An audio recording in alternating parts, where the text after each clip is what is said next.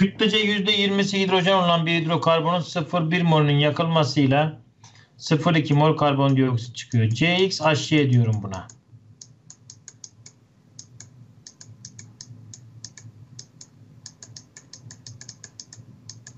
Bak. 0,1 mol müymüş? 0,1 molmuş. Ne kadar karbondioksit çıkmış?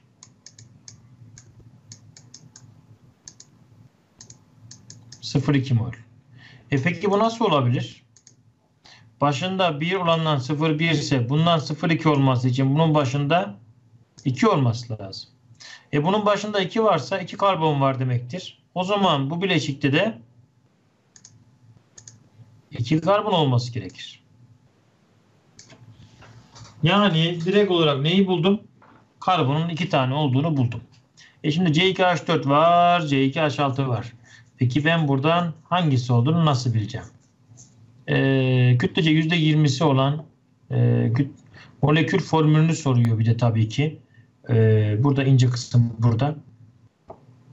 Kütlece %20'lik diyor. O zaman 100 gram bileşik olsa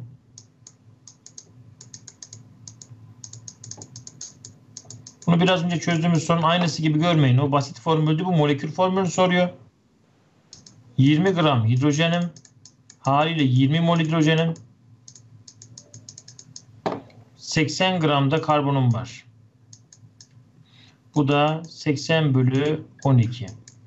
Hatta 4'e bölünce 20 bölü 3 olmuştu. Biraz önce yapmıştık bunu hatırlarsanız hızlandırayım. Çünkü birinci ders yapmıştık. CH3 çıkmıştı buradan. Karbonun altına karbonun molünü hatta yine de atlamayayım. Üşenmeyeyim. Ee, hidrojenin altına hidrojenin molünü yazdığımızda iki tarafı da 3 ile çarptığımızda sonra da 20'ye böldüğümüzde CH3 çıkıyordu. Ama cevap CH3 değil. Çünkü ben biraz önce şu denklemi yazdığımda bileşiğimde kaç öğrendim? 2 karbon olduğunu öğrendim. Demek ki bu bileşiğin genişletilmiş bir versiyonundan bahsediyorum. Peki kaçla genişletilmiş? 2 ile genişletilmiş. Yani karbon bir tane olacağına 2 tane olacakmış. E 1'i 2 ile çarparsam 3'ü de 2 ile çarparsam C2 ne olur? C2H6 olur. Anladık mı?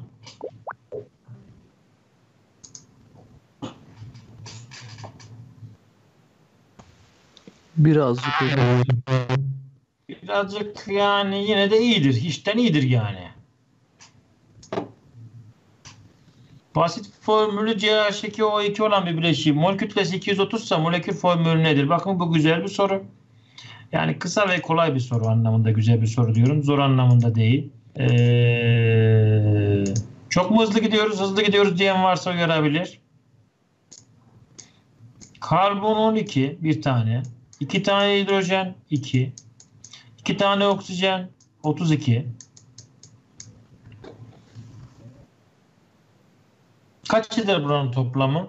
14, 32 daha 46 eder bunun eması. Ama benim bileşimin eması kaçmış? 230. Yani 46'nın kaç katı? 5 katı. O zaman emasının 5 katına çıkması için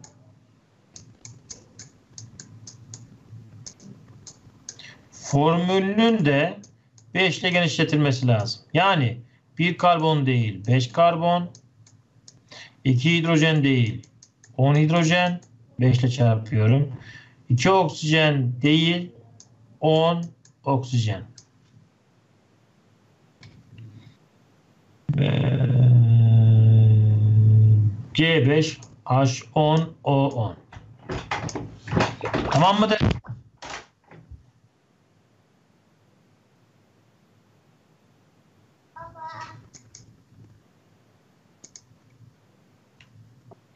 Karbonun allotropları. Formül konusunda bir soru soran var mı? Karbonun allotropları var biliyorsunuz. Biz önce en ünlü tanıdığımız allotrop ikilisine girelim. Doğal allotropları karbonun en bilinen allotropu e, yani karbonun zaten kendisini grafik kabul ediyoruz öncelikle. Doğal allotrop bu. kille karıştırılarak kalem ucu üretebiliyoruz. Ee, kuru yağlayıcı olarak tıpta e, vücut protezlerinde ham madde olarak nükleer enerji üretiminde kullanıyoruz. Bir de tabii ki size derste söylemiştim. Erime noktası çok yüksek olduğu için metal eritme potalarında da grafit kullanabiliyoruz. Çünkü erime noktası birçok metalden hatta bütün metallerden yüksek. Karbonun en çok bilinen ikinci allotropu elmas. Ee, mücevher olarak kesildiğinde kırlanta olarak isimlendirilerek satılıyor. Ee, delmede, kesmede yani matkap uçlarında kullanılıyor. Cam kesmede kullanılıyor.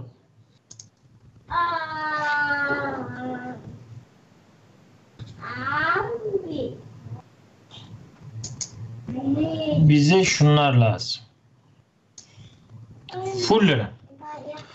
Şeklini daha iyi görüyorsunuz. Karbon yapay bir allotropu. 3 boyutlu bir yapıya sahip. Buckminster Fulleren tarafından tasarlandığı için e, bu ismi verilmiş. Minster'ın tasarladığı mimar yapılara benzediği için mimar bu adam.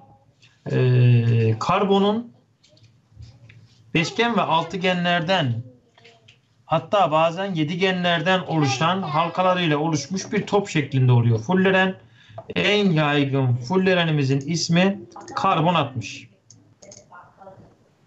En yaygını karbon 60. Anlayacağınız 60 tane karbon içeriyor. Kurşun yelek, e, kurşun geçirmez yelek yapımında e, kullanılıyor, tıp alanında kullanılıyor. Sağlamlığı sebebiyle kurşun geçirmez yelek yapımında kullanımı yaygın. Önce grafene geçeyim. Nanotüpe geçeyim sırayı bozmayayım. Karbon nanotüpler e, elektronik malzeme üretimi, optik malzeme üretimi, nanoteknoloji alanında kullanılan bir madde. Nanotüpler grafenin e, tüp haline getirilmişi. Şöyle aslında önce dediğim gibi grafenden başlasam daha hayırlı olacak.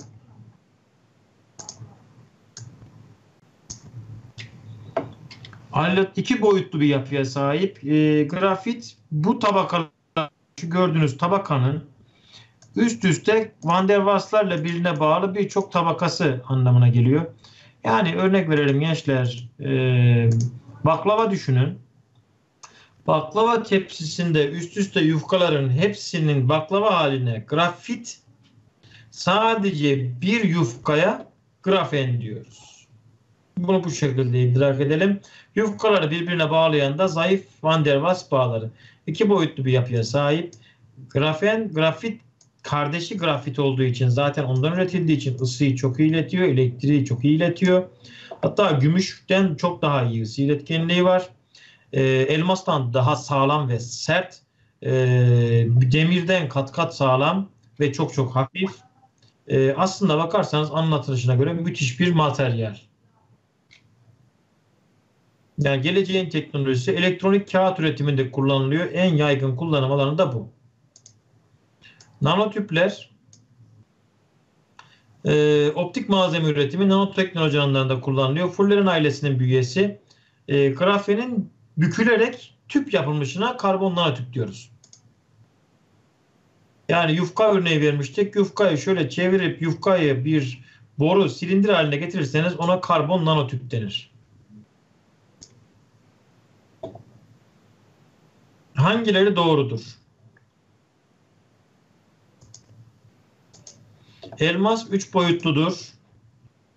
Doğru. Elektrik akımını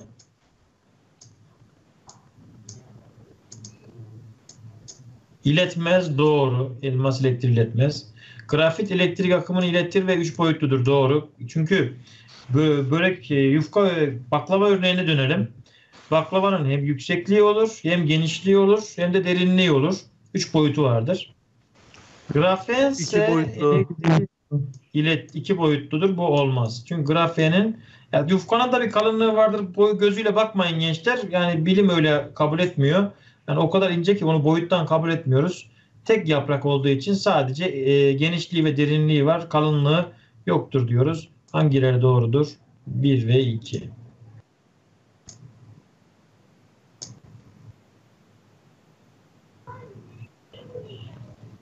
Hangisi fullerinin kullanım değildir? Burada transistör değil, transistör. Burada yazım hatası var. Yani burada çok abartı saçma bir cevap verilmiş. Elektrolizde hiçbir kullanımı yok. Çünkü elektrolizin icat edildiği yıllarda fulleren diye bir şey yoktu. Elektrolizin icadı çok eski yıllara dayanıyor. Michael Faraday e, o zamanlar böyle bir materyal yoktu. Evet, Lewis gösterimine geçiyoruz yavaş yavaş.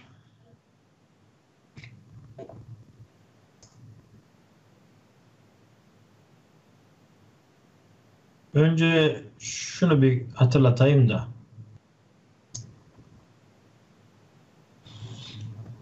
Değerli elektron sayısını buluyoruz. Bir elementin ve değerli elektron sayısı kadar noktayı element sembolü çevresine yazıyoruz. Mesela hidrojenin çevresine bir tane yazmış çünkü bir değerli elektronu var. Lityuma da bir yazmış. Ama bor 5 olduğu için 2 ve 3 diye yazıldığı için çevresine 1, 2, 3 elektron yazmış. Floronsa 2, 7 olduğu için çevresine 7 elektronu sırasıyla 1, 2, 3, 4, 5, 6, 7 şeklinde yazmış. Bir tane bağ iki tane elektronu ifade ediyor. Bunu bilgi olarak vermiş kitabımız. ÖSYM ne sordu? 2017 LYS'de ne çıkmış bakalım. Hangisinin Lewis'i yanlıştır diyor.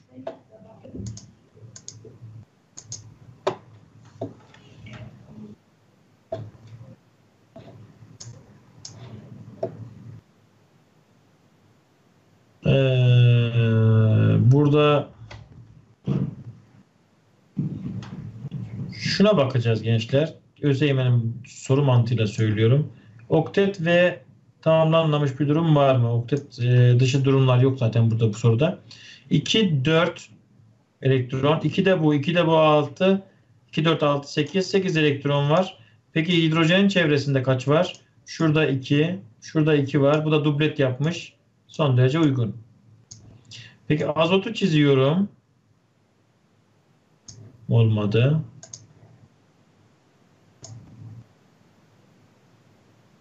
İki elektron, dört elektron, altı elektron, iki daha sekiz oktet yapmış. Hidrojenlerimiz de dublet yapmış. Şu karbona bakalım. 2 elektron, 4 elektron, 6 elektron, 8 elektron. Şunu çizelim.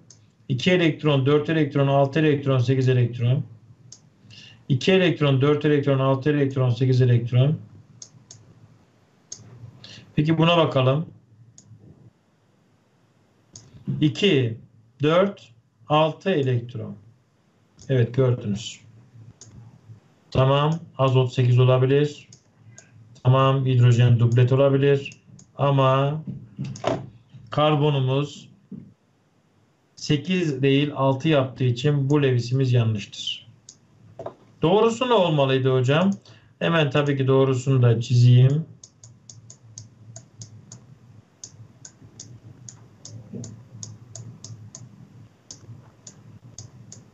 Bu şekilde olmalıydı. Böyle olursa bakarsanız karbonumuza 2, 4, 6, 8 azota bakarsanız 2, 4, 6, 8'i görürsünüz.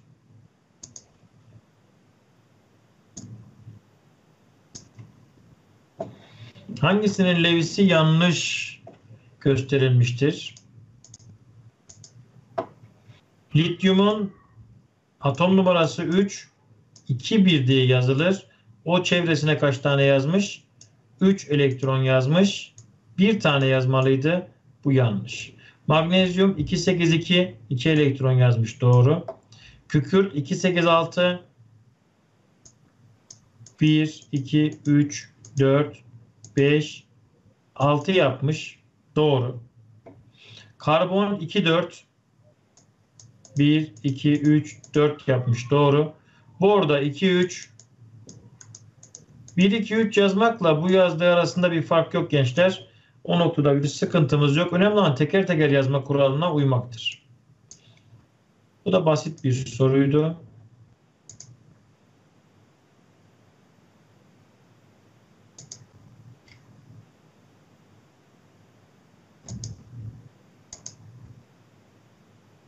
Burada biraz karışık Lewis'lerden örnekler vermiş.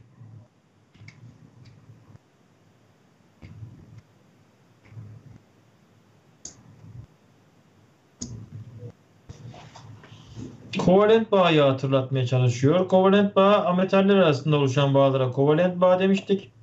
Eğer ametallerimiz farklıysa polar, aynıysa apolar kovalent oluyordu. Burada küçük bir tekrar yapıyoruz.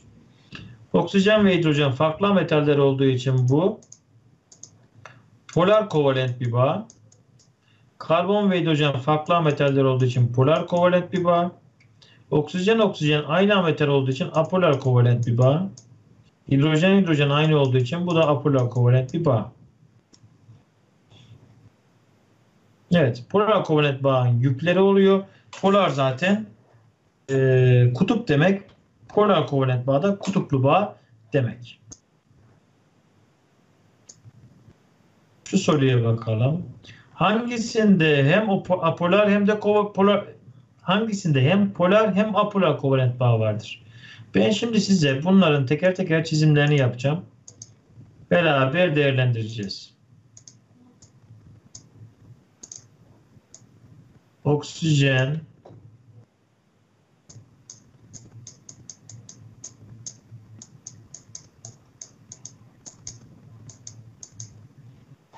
Evet bakalım.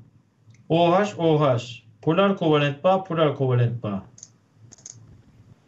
PK yazalım. İki tane polar kovalent bağ içeriyor. Peki karbondioksit nasıl çiziyordum? Karbondioksitin çizimini burada size bir hatırlatayım gençler. Burada çizimi bildiğinizi varsaydığı için atom numarasını hiçbir şeyini vermemiş. Karbonumuz 6, 2, 4. Oksijenimiz de 8, 2, 6.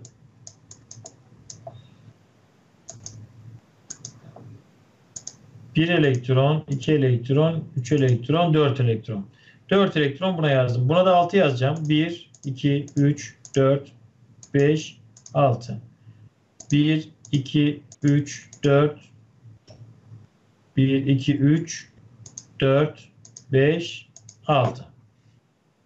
Şimdi bunlar eşleşmiş elektronlar. Ortaklanmış.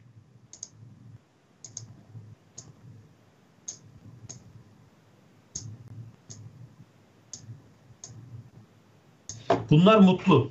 Sorunu olan tekliler.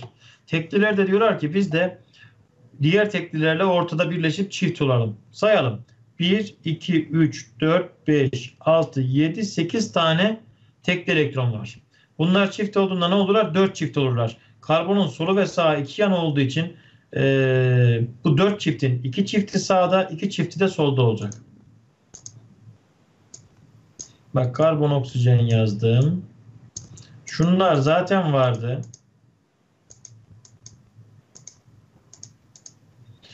Şimdi 8 elektrona dikkat edin yazışıma. 1, 2, 3, 4 tane burada.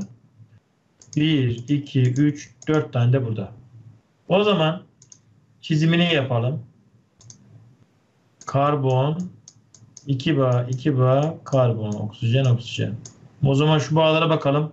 Karbon ile oksijen arasındaki farklı ametal olduğu için polar kovalent, farklı ametal olduğu için polar kovalent. 4 tane polar kovalent bağım var. NH3'ü çiziyorum. Daha kolay olduğu için onu çizimini yapmadan göstereyim. Onu biliyorsunuz zaten her türlü TYT çalışmalarımızdan da.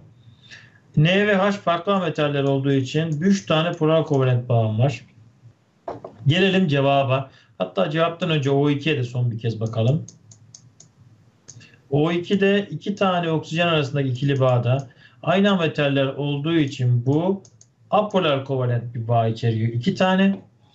C2H4'e bir bakalım.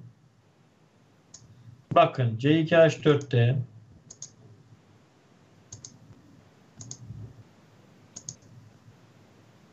nokta biraz daha büyütüyorum.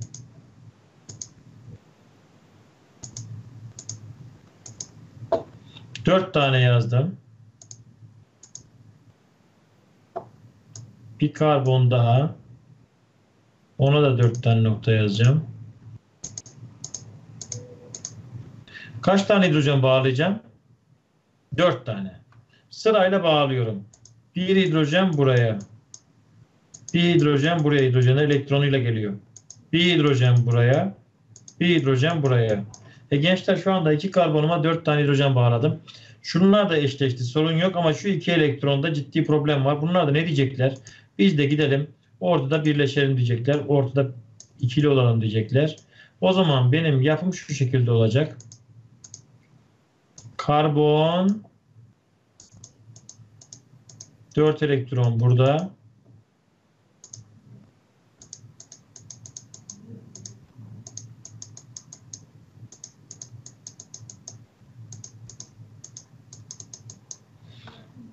Yukarıya çizelim. Karbon. 2 bağ karbon. Hidrojen.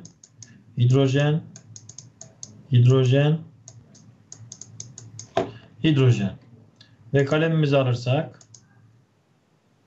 bu bağ karbon ve hidrojen arasında olduğu için polar kovalent polar kovalent karbon ve hidrojen olduğu için polar kovalent karbonla karbon arasında yani iki aynı metal olduğu sırasında olduğu için apolar kovalent bağ. Yani iki tane apolar kovalent, dört tane polar kovalent hem apolar hem polar kovalent bağ içeren örneğimiz C2H4'tür. Bu örneği çok hızlı çözebilirdik ama birazcık tekrar edelim, birazcık Lewis'lerine bakalım diye yavaş yavaş çözdük. Aldehitteki sigma ve pi bağ sayılarını yazınız diyor. Burada sigma ve pi bağına çabuk giriyor gençler. İkili bağlarda e, ilk bağ sigma, diğerleri pi idi. Bunu konuşmuştuk. Yani şöyle gösterelim. Bu bağımız kesinlikle sigma. Sigma işareti bu. Eğer şöyle bir bağımız varsa bir tanesi kesinlikle sigma hangisi olduğunun önemi yok. Bir tanesi ise pi olur.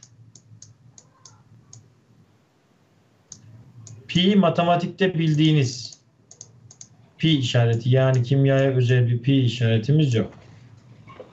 Eğer yapımızda 3 tane bağ olursa gene kesinlikle bir tanesi hangisi olduğu önemli değil. Sigma. Diğerleri ise şu ve şu pi olur. O zaman bize çoklu bağlar gösteriyor. Şimdi e, şu CH3, CHO'yu çizmeye çalışalım. Birazcık erken girmiş. E, ben size çizimini yapayım. Sonra sigma ve pi bağlarını sayalım. Yani biz aslında çizimini sorunun verdiğini varsayalım. Burada çünkü bunu sormak birazcık fazla. Ama bu sene için fazla değil. Bir sonraki üniteyi inşallah beraber işlediğimizde hepiniz etanal yani etanaldehit olan bu molekülün çizimini yapmayı öğreneceksiniz. Adına da dahil olmak üzere. Evet bakalım gençler. Çizimi bildiğinizi varsaydığımı söylemiştim. Şu şey birazcık daha güzel çizmek istiyorum.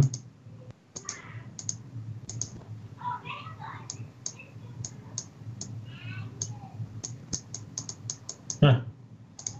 Şimdi oldu. Sigma sigma sigma 4 etti, 5 etti. Herhangi birini çizdim. 6 etti. 6 tane sigma Çoklu bağların mutlaka birincisi sigma diğeri pi'di. O zaman 6 sigma 1 pi bağım var. Bir daha söylüyorum size bu molekülü ben nasıl çizeceğim demeyin. Ee, bunun çizimini ileride öğreneceğiz. Ben vermiş olmuş olayım böyle.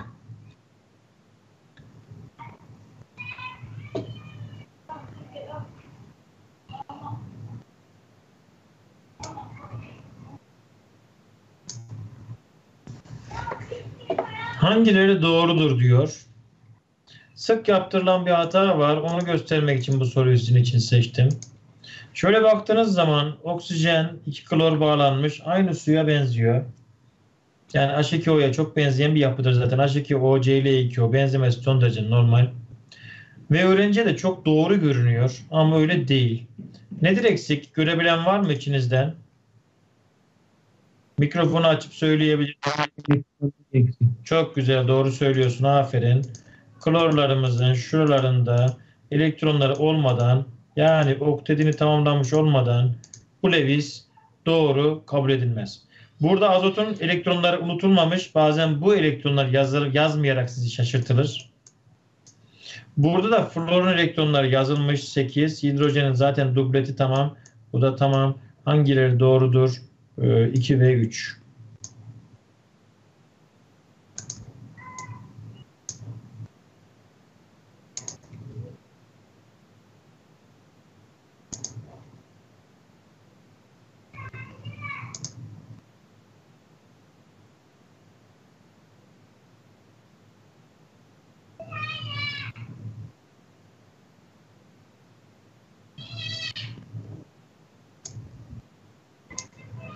Nanotüp kullanımlarından hangisi yanlıştır? Bağırıyor cevabımız. Ne kadar yüksek teknolojik şey düşünürseniz aklınıza nanotüp gelecek. Nanotürler yazmış. Nanotüpler olacaktı o. Ee, fotodiyotlar, transistörler, yarı iletkenler, süper bilgisayarlar, normal bilgisayarlar hepsi nanotüpler için uygun ama nanotüpleri yakamayız. Yakıt olarak kullanımları yok. Yani yaksak da çok israf olurdu. Bu kadar yüksek teknolojik bir ürün ısı enerjisi elde etmek için harcanamaz. Gençler e, iki dakikamız kalmış. Hibritleşmeye girmeyin bu derste. Öbür dersimizde gireyim tek dersimizde. Buradan bir soru daha seçeyim. Ee, onu çözeyim. Ee, şunu seçelim.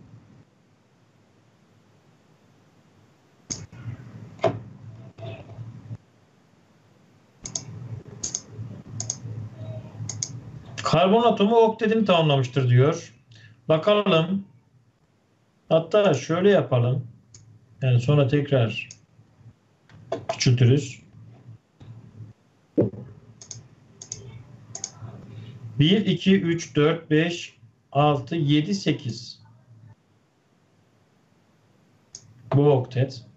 Şuna bakalım. 2, 4, 6, 8. Şuna bakalım.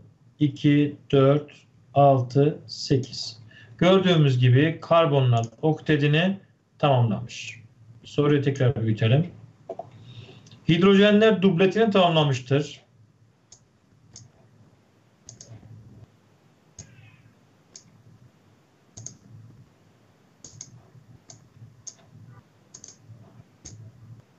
Bu birinci dublet.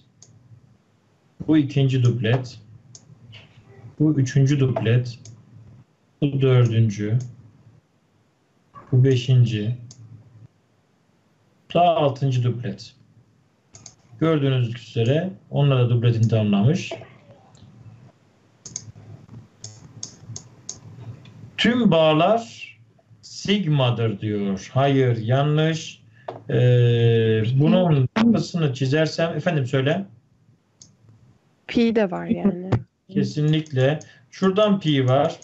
Şurada bir 4 elektron görüyoruz ya. O iki bağ demek. Sonra şurada bir hidrojen var tekli. Sonra şurada bir karbonumuz var. O da 4 tane hidrojene bağlı. Aslında gerçekten çoğunluğu sigma doğru ama şurada bir tanecik e, pi'miz var. Tabi bunun olduğu kesin değil. Biri sigma, biri pi. Üst ve alt kavramı olmaksızın ama biri sigma, biri pi derken kesinlikle biri sigma, kesinlikle diğeri de pi. O zaman sigma bağlarının tamamının olduğu yanlıştır. Doğru cevabımız da denizde olur. Bu dersimizi burada bitiriyoruz. Sorunuz var mı gençler?